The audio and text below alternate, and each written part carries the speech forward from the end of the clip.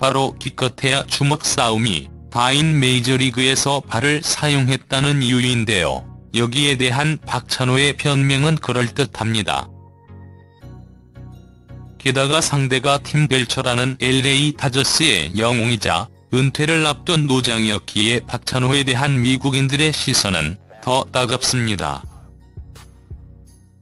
7경기 출전 정지에 벌금은 물론 팀 동료들까지 박찬호에게 차가운 시선을 보냅니다. 더욱이 미국인들이 살해 협박에 총 얘기까지 하는 무수히 많은 협박 편지들을 받네요. 한순간에 혈기를 참지 못한 것치고는 너무 큰 대가네요.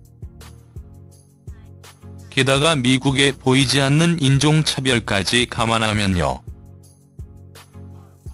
당시 한국 언론에서야 한일 간의 대결 혹은 숙명적인 라이벌이라는 자극적인 기사를 많이 썼지만 노모 히데오는 이미 일본 리그를 거쳤고 메이저리그에 데뷔하자마자 신인왕을 수상하는 베테랑이었고 박찬호는 그냥 루키였습니다. 박찬호가 그런 노모 히데오에게 질투를 했답니다. 당시 그를 인터뷰하러 오는 리포터들은 아름다운 여자들이었고 우리나라는 중년의 남자들이었거든요. 노모가 일본 미소녀 같은 리포터와 인터뷰를 하고 있는데 박찬호는 아저씨들의 찬호야 이리 와봐라.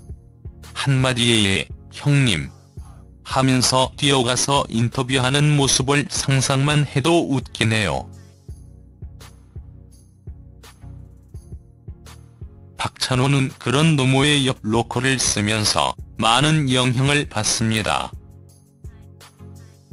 그동안 부상을 참으면서 공을 던지던 박찬호는 거액의 연봉으로 텍사스 레인저스로 이적을 하면서 부진의 늪에 빠집니다. 어쨌든 박찬호는 당시 한국 언론에 많은 섭섭함을 느낍니다. 제가 생각하기에 당시 미국 현지의 특파원들도 문제였지만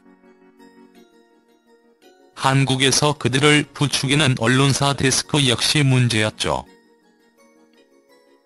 어떻게든 자극적인 기사를 뽑으려고 자사의 기자들을 극한 상황에 내몰았으니까요.